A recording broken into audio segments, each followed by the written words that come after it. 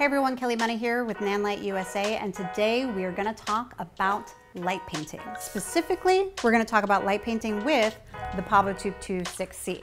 Now, if you don't already know about this guy, we are gonna link some iCards in the video so that you can check it out yourself. But in this video, we are specifically going to look at how to use it as a light painting tool within photography. So I recruited a good friend of mine, Mr. Matt Hill, who actually teaches a lot about this stuff at National Parks at Night. And he's gonna basically take us into his thought process when it comes to light painting. So what is light painting? Matt had this great definition where he said you could really think of it in two different ways.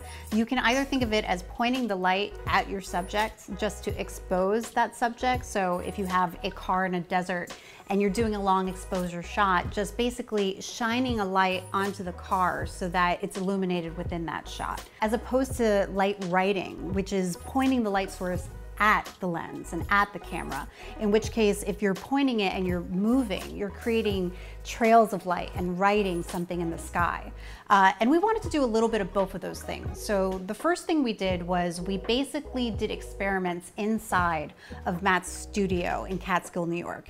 So Matt did his first setup with the definition of light painting in mind. He basically used both PavoTubes in the different ways that he defined light painting as. He took one of them and made that a consistent light uh, with kind of like a purple hue to it. And he made that a key light that just illuminated the subject. He then took the PavoTube 2.6C that he wanted to light paint with, or light write with, and attached that to a boom pole. And he created kind of like this light writing tool that we ended up using throughout all of the different shoots. And that allowed him to kind of go behind the subject and write behind the subject and create patterns behind the subject. And in this setup, it's a great example of how to be able to kind of illuminate a subject, but then also incorporate some light writing inside of that frame as well. The next thing Matt wanted to do after we did our initial experiment is he kind of actually wanted to decrease the intensity of the light and he also wanted to add a little bit more texture and a little bit more shape to it. So he came up with this really cool idea of taking some gaff tape and creating strips of gaff tape to actually cut up the lights a little bit. So one of the PavoTubes he took and he created some vertical lines and then the other one he took and he created some horizontal lines. And we just kind of played inside of the studio with some different ways of utilizing them as writing tools and creating different shapes and different stripes and just different feelings and textures. And he came out with some really cool shots.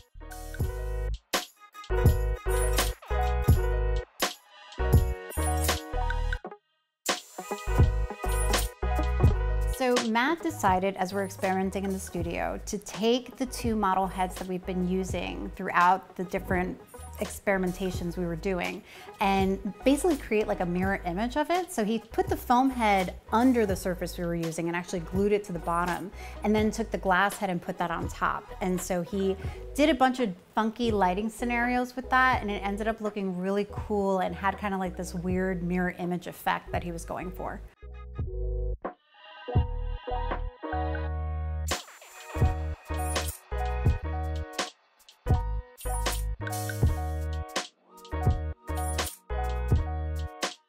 As we're in the studio, again, the main theme of being in the studio that day was really to just experiment and see what we could make happen with the Pavo tubes. So one of the things Matt decided to do was to actually incorporate some Christmas lights as well. So he actually um, spun some Christmas lights around the PavoTube that we had on the boomstick. And then he put some uh, sheer curtain over that and then proceeded to kind of like light paints behind the subject with those diffusion and extra lighting mixed into it. And then he also decided to take that and put it into the glass head that we had. So we have actually a shot where you have the twinkly lights and the sheer curtain and all this stuff inside of the glass head while Matt's kind of light painting on the subject and behind the subject. I, I really liked the effect that the light had on the glass head. The glass head was really reflective and it had this like glossy, weird texture to it.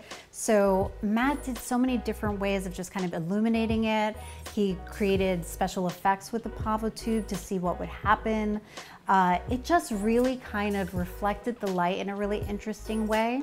And it just looked almost like the, the face had different expressions or different moods. Like some of the pictures even look, well, downright creepy. Because he was able to kind of light it in a way that just made it look like dark and mysterious and something out of a horror movie. So after we were done experimenting in the studio and pushing the PavoTube to its limits, we decided to graduate to our human subject, Molly. And we went to a location shoot in a beach near Catskill, New York. So this was a lot of fun because we were able to take a lot of what we learned in the studio and kind of apply it to the portrait that Matt wanted to take of Molly during Blue Hour. Matt had this idea of mixing basically strobe light and continuous light to kind of create a portrait with some light writing. So he was able to use a speed light to kind of be the main light for Molly.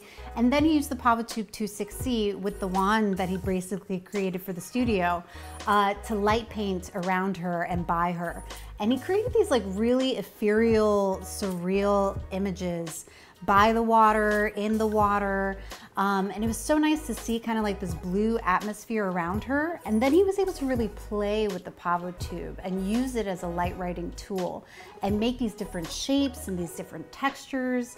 Um, these are a lot of like my favorite images I think that Matt has created in terms of light painting. I really think that he thrives with with doing portraits like this. And a lot of the stuff he created was very ethereal and surreal and really kind of dreamlike.